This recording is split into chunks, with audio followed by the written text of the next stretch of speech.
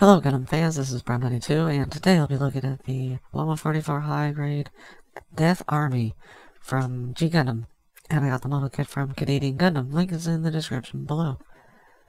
So, this is the Grunt mobile suit um, from the uh, series. there were different, there were like four or five variations in the show. And I guess they did they did the same thing they did with the Leo and Build Divers Re-Rise uh, Build Divers, because with Re-Rise they have the Eldora army, which is basically the Death Army uh, modified.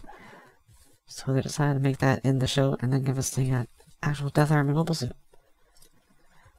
And I won't be surprised if we see the other variants. There's a, a flying variant, uh, underwater, uh, a bulkier one, I think. there's there's different ones. And maybe we'll get like a set. Who knows? But yeah, it's a kind of generic, very, very plain. But I do like it. Um, I feel the legs are very uh, serpent-ish from Endless Waltz. And the only sticker is for the eye. Everything else is plastic, and the underskirt always folds up. Uh, a few seam lines, shoulder, uh, the calf, pretty much it. Now, I like it, but I don't like the, what they did with it. They, especially G Gundam, they tend to do polycap ball joints for major areas, and they're not sunken enough, like right here. It doesn't go in. If the stem was longer and it went deeper into the stomach, unfortunately the stomach isn't really that big of a piece. It's weird. This part's actually pretty good. This cup, very solid. This, not so much. So, uh, not a big fan. And that's the only parts that they use polycaps on, the ball joints. So you got like uh, the feet and the waist. I think that was it. But everything else is okay. The shoulders are a little too easy to come off, but it's not terrible. Nothing like the waist. The waist really annoys me. I would prefer a stem and no polycap ball joint. Just, just a peg into the waist. I don't need this. I just, I don't mind just a rotation and add a hinge or something. They've done it with a lot of other kits, so I don't know why. Yeah, I feel this is, might have been a a kit they already had prepared for a while now. And they just uh, finally decided to use it. I don't know. But it is still good, just I don't like that waist joint. Uh, so, the head is double ball jointed, but only really, it was a little bit at the bottom, but it's pretty, pretty free up at the top. And you do have a movable Mono But the cool thing is, you can actually do, do it two different ways. If you pop this piece out, you have another sticker with a smaller Mono and the, uh, they made it so that there's two grooves, so you can still utilize the uh, rotation.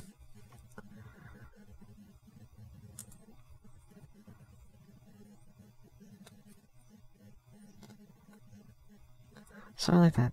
Personally, I prefer the bigger eye, but I do appreciate the ability to choose. Although, swapping is a lot, the uh, sticker's probably gonna get destroyed. You got the uh, ball jointed shoulder. Uh, the shoulder is hinged, so the arms can go out. Rotate pull the shoulder, one joint at the elbow, you got a ball joint rest with a hinge to go in. Uh, the arm guards are on a hinge. Yeah, that ball joint, uh, the double ball joint I mentioned, really the middle one here is the one that actually works. Hinge front skirt, ball joint side skirts, and I mentioned the uh, back skirts that hinge.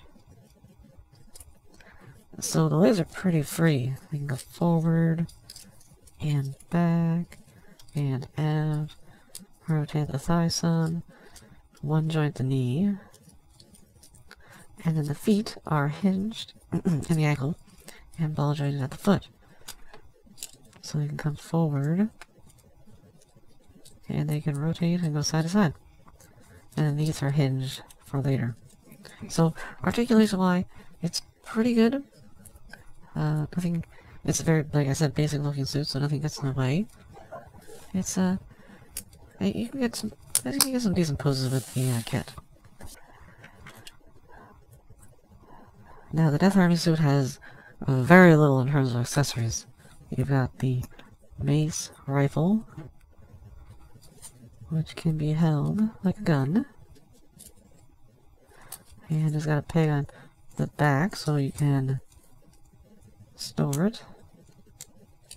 Well, I say that, it doesn't really fit that well. I thought you could, but I guess I was wrong. So, no. This must be for something else. But it does work.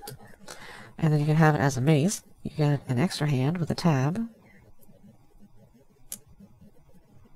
So, just tab it in like that. And there you go. so, you got the weapon. And then, if you get these pieces. Now, what are these? They're basically the feet transformed for the gimmick, which you can't actually use here with this kit. But I believe the Eldora one, which I haven't built yet, will be able to do it. So you have to fold the legs up, get the feet off, mm-hmm. replace them with these pieces, and then fold these up over top.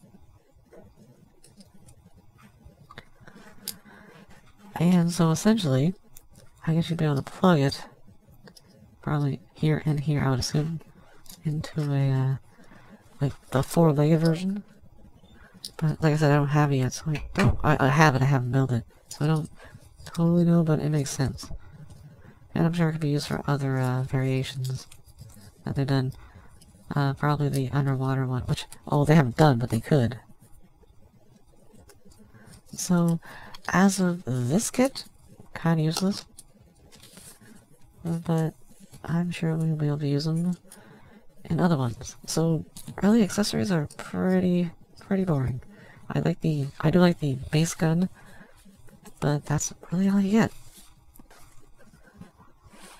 Uh, so I figure I'll compare the uh, grunt from G Gundam with one of the grunts from uh, Gundam Wing, the uh, Maganac, just one of the variants I've got.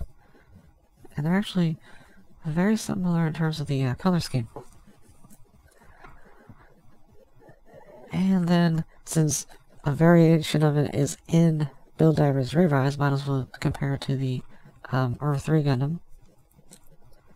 Just so you can see the difference there. It's a very, it's a, well, G Gundam is a, usually the, the zoos are, are a little shorter, so it makes sense. Speaking of G Gundam, how about comparing it to the Shining Gundam?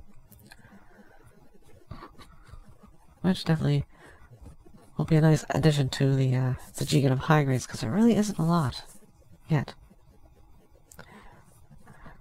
Yeah, and that is the high grade Death Army. Um, definitely not my favorite in terms of the recent grunt suits we've been getting. It's, it's probably the on the bottom of the list for me. Uh, I might like the Eldora version better. Don't really know. But yeah, just, mean, there's not a lot going on with it. The base really annoys me. And it doesn't, I mean, it only had the one weapon, I think, anyway, so I, I was, what was I expecting? I don't know. Would have been nice if they give us another, uh, feature, like one of the other variants, like accessory parts. Or at least, uh, I'm surprised we haven't got MP Bandai yet with, like, parts to make other variants. Anyways, if you want to pick it up, click link below to go to Canadian Gundam, and I'll see you in the next review.